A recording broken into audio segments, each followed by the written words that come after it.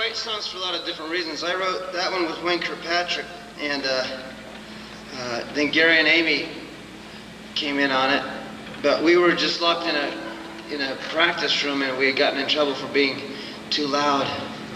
So we wrote that just for kicks.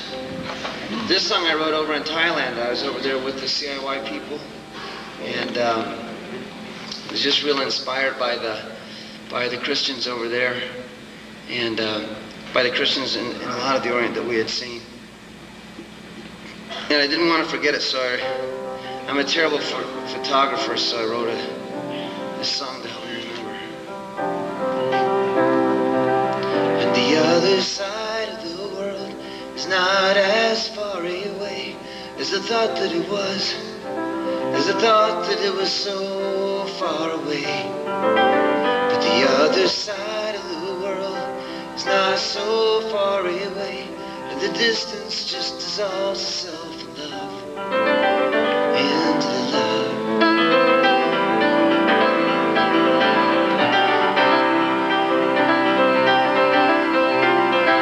And the New Jerusalem won't be as easy to build as I hoped it would be, as I hoped it would be easy to build.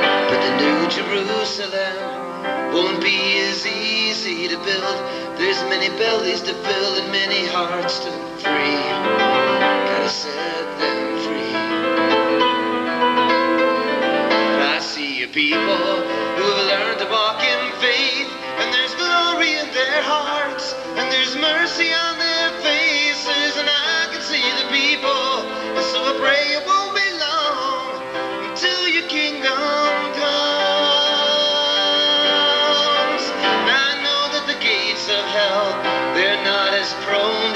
prevail as I thought that they were, as I once thought they were prone to prevail.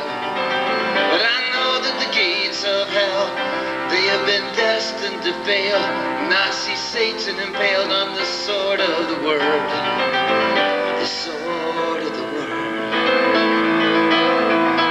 And I see a people who learn to walk in faith. And there's mercy in their hearts and glory on their the people. And I pray it won't be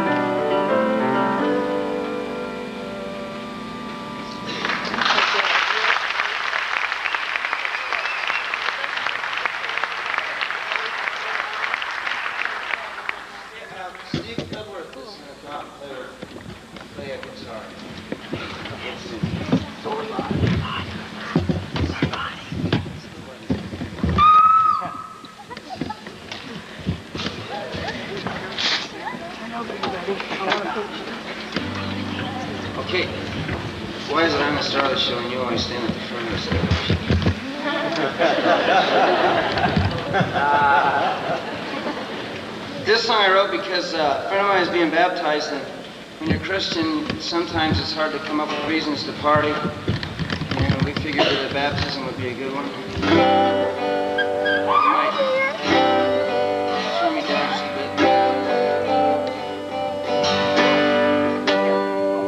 So, in the middle of this song, you're going to hear something. It should sound like this.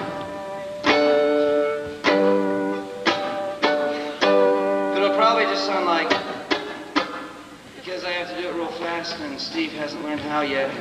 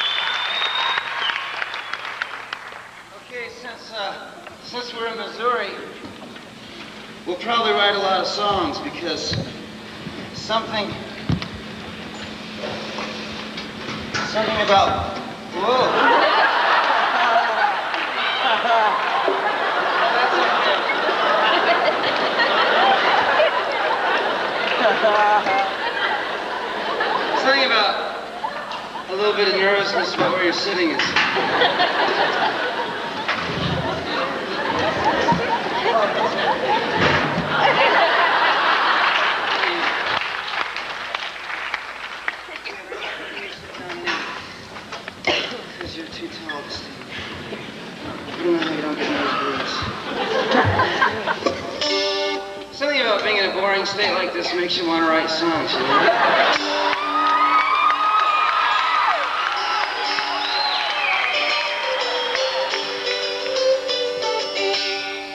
Okay, make sure you can hear the guitar over the notes from the song. No, really, uh, we, we did write this song in Missouri, and it's uh, about Esther.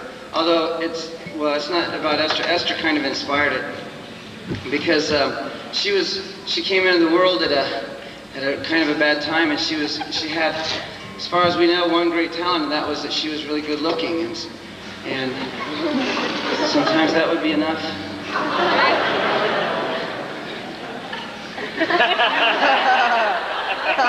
anyway, never mind. You wouldn't understand. So, uh, so God put her in a position where she could save the uh, His people, and she saved them, and uh, so she got a name, a book named after her in the Bible. She's dead now. Most of us will be if you live long enough, you die. So that's kind of what this song is about.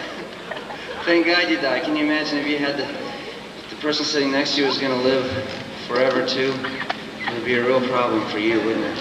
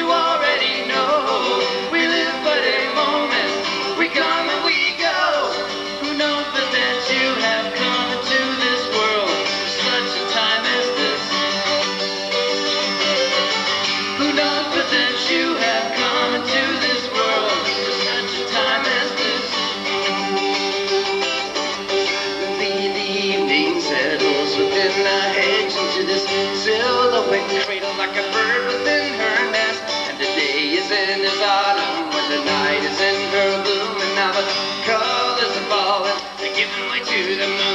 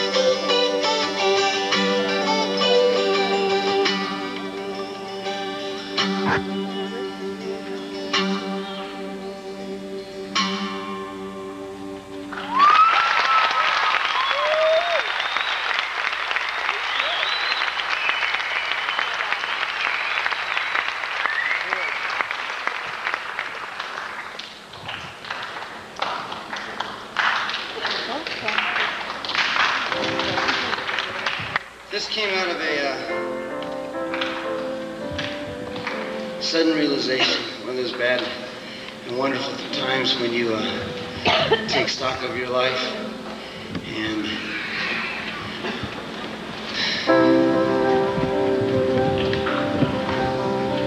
I live in a little house up on Harper's Ridge, and uh,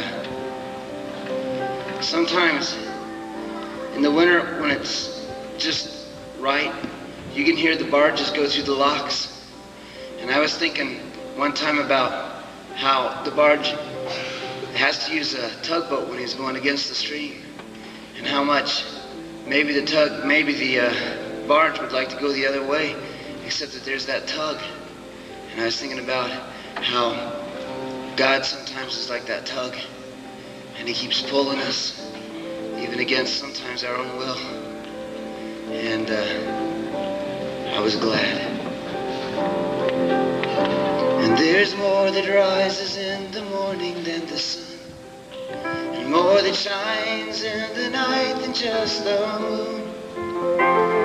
It's more than just this fire here that keeps me warm, and a shelter that is larger than this room. And there's a loyalty that's deeper than mere sentiments. And a music higher than the songs that I can sing.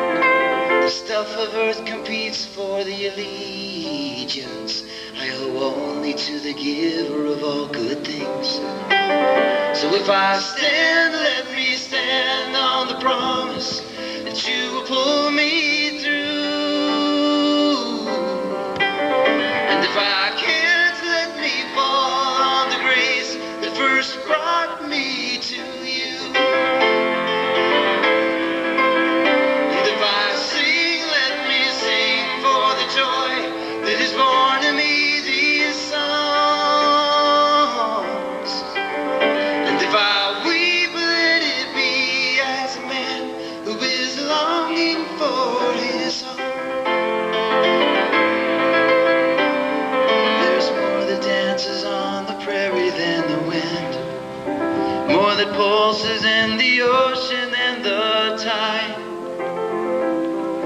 a love that's fiercer than the love between friends. More gentle than a mother's with a baby at her side. There's a loyalty that's deeper than mere sentiments. A music higher than the songs that I can sing. The stuff of earth competes for the allegiance.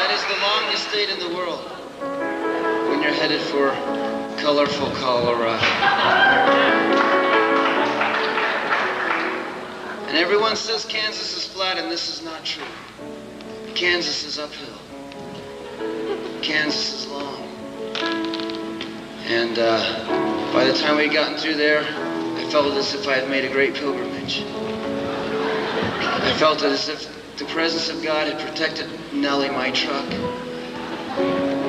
from certain disaster.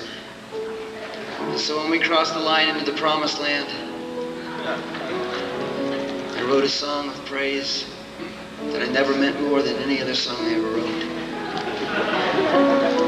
Because I always mean my songs. And uh, I would really love for you to sing this song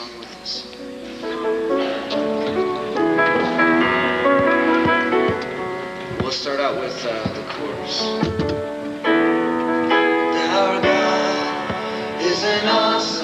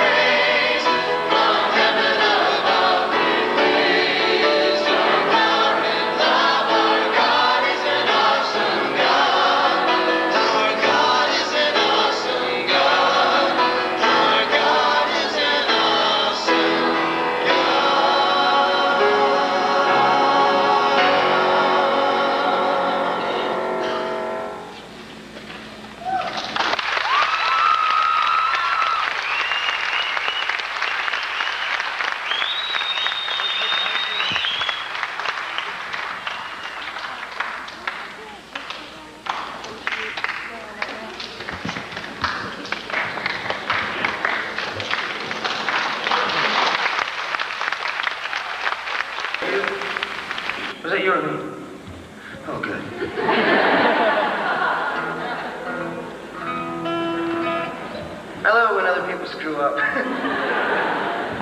it makes it so much easier to live with yourself. Hey, this is a hammer dulcimer, and uh, so a hammer dulcimer.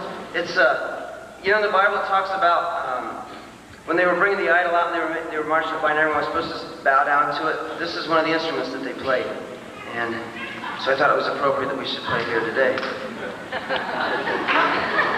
also, they used this when they dedicated the temple, and. Uh, can you hear it?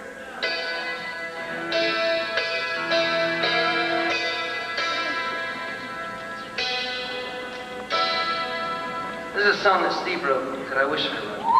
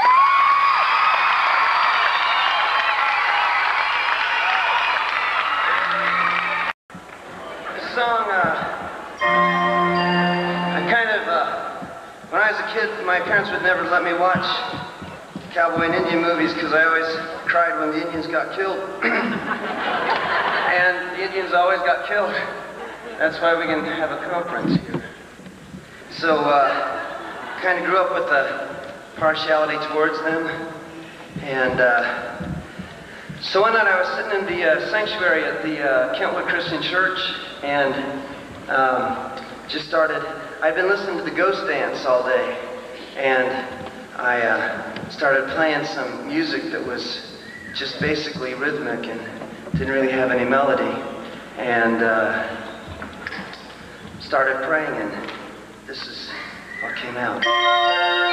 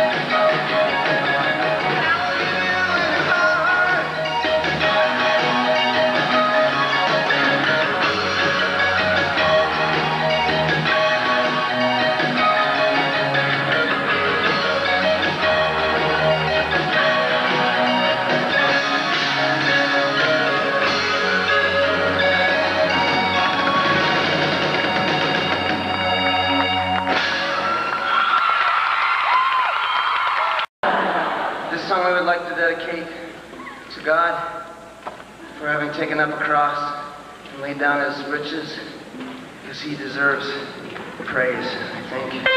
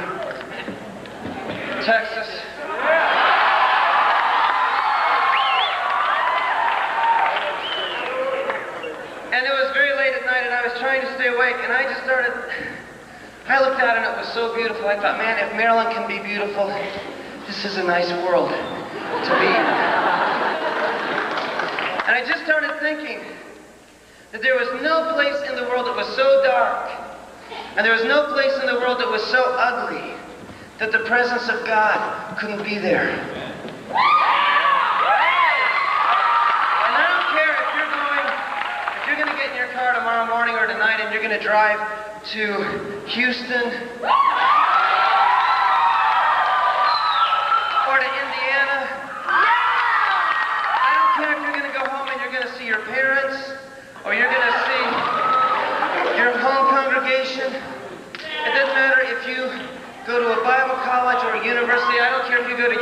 Your high school, I don't care where you go. One thing is going to be common in all of those places, and that is that God is going to be there.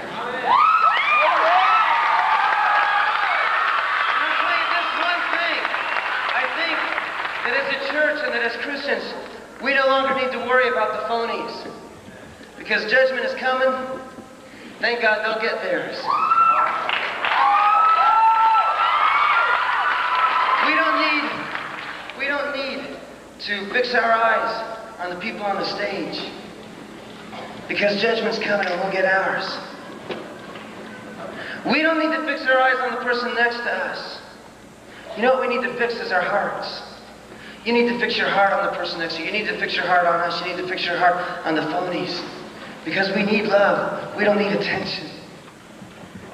The one thing in the world that you must fix your eyes on is God, is Christ, because there are going to be a lot of things that are going to try to distract you, that are going to try to take your attention off of Him, that are going to try to show you that this world is ugly and that your life is meaningless.